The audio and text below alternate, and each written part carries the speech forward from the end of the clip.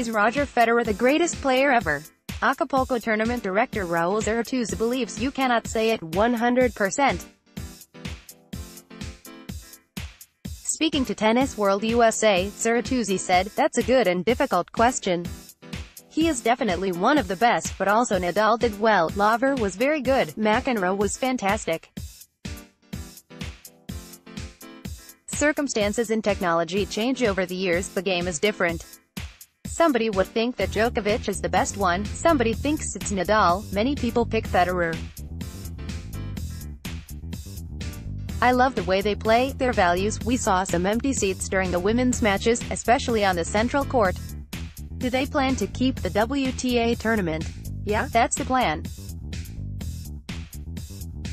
One of the challenges we have is that the whole area the event takes place in is very funny. So sometimes fans prefer to stay in the bars, but we are happy with the women's event.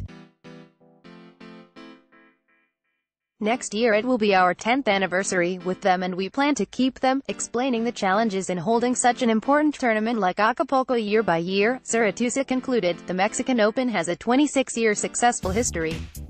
The next years will be our most challenging ones because we have a new federal government that has different views in supporting sports events.